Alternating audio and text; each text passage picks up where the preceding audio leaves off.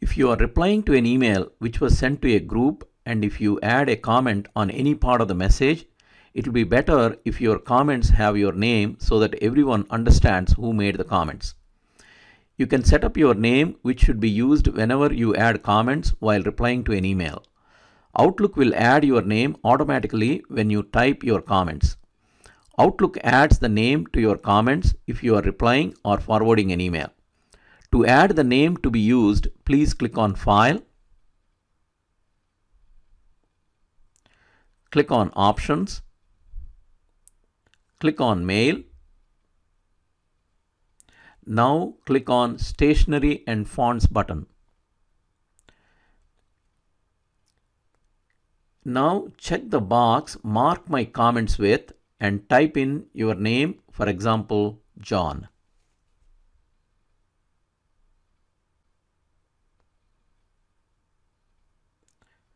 Click OK to save the changes. Click OK again. Now try to reply to an email.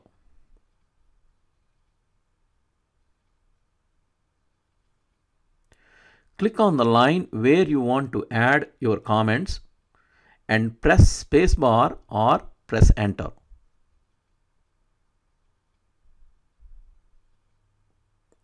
You can see Outlook automatically adds your name and you can type your comment.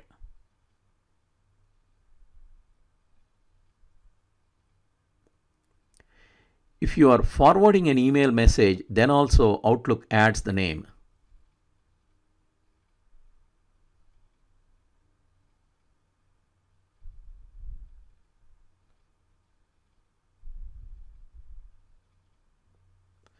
You can see Outlook adds the name before your comment. If you like this video, please subscribe to our channel.